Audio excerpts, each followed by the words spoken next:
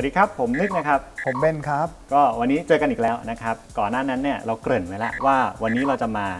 พูดถึงเรื่องจัดพอร์ตลงทุนในกองทุนรวม ใช่ครับ หรือ asset allocation นะครับครับแต่ก่อนอื่นเนี่ยถามว่าทำไมต้องจัดพอร์ตนะครับ จริง ๆ แล้วเนี่ยก่อนที่จะจัดพอร์ตเนี่ยต้องเข้าใจก่อนว่ากองทุนรวมเนี่ยไม่ใช่ว่าลงวันนี้แล้วพรุ่งนี้รวยอ๋อ มันต้องใช้เวลา ต้องใช้เวลานะครับครับเป็นการลงทุนระยะยาวนะครับครับแล้วลงทุนระยะยาวดียังไง ยาวแค่ไหนก่อนครับ อ่า ระยะยาวเนี่ย บางคนอาจจะบอกว่า 1เดือนคือยาวครับ อันนั้นยาวหรือยังครับ ยังไม่ยาวครับยังไม่ยาวยังไม่ยาวพอคืออย่างน้อยต้องหนึ่งวปีต้องเป็นปีครับนะหฮะลาย ๆ ปียิ่งดีครับ 5 ปี 10 ปี 5 ปีครับ10 ปีนะครับมันมีสถิติถูกไหมครับ ถ้าครับเราลงทุนในในตลาดทุนครับสมมุติในตลาดหุ้นเนี่ยนะฮะลงทุน 1 ปีอาจจะขาดทุนนะครับครับขาดทุนสูงสุดอาจจะ 50%เลยก็ได้ใช่ครับถ้าช่วงที่เป็นวิกฤตนะครัครับบแต่ถ้าเกิดเราอยู่ในตลาดยาวพออย่างเช่น 7 ปี 10 ปี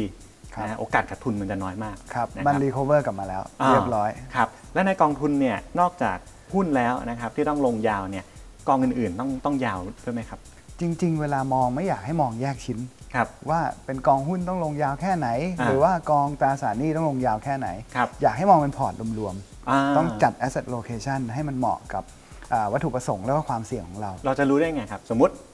ครับผมนี่ชอบความเสี่ยงครับอ่าขาลุยครับนะฮะอยากได้ผลตอบแทนสูงสูงๆครับ ต้องทำไงฮะ ถ้าถ้าถ้าเป็นคนชอบความเสี่ยงเนี่ยครัก็บอาจจะมีหุ้นเยอะหน่อยนะครับ อ่ามีมีตราสารหนี้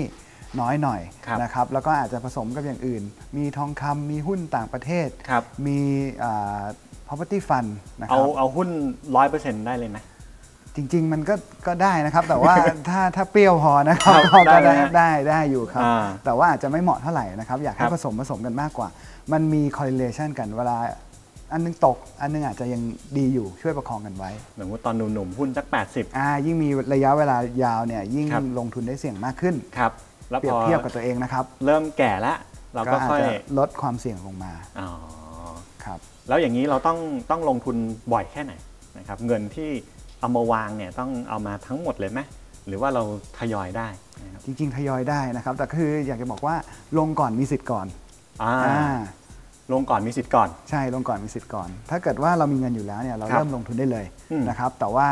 ถ้าเกิดว่าเรายังไม่มีหรือว่าเรามีรายได้ประจำนะคครัรับบเราค่อยๆ ทยอยเก็บหอมรอมริบอ่าได้นะครับที่เขาเรียกว่า DCA ใช่ไหมใช่ครับนะครับ DCA คืออะไรเนี่ยจริง ๆ แล้วรายละเอียดมันมีเยอะพอสมควรครับงั้นขอเก็บไว้ตอนหน้าละกันนะครับได้ครับผมสำหรับตอนนี้ก็สวัสดีครับ สวัสดีครับ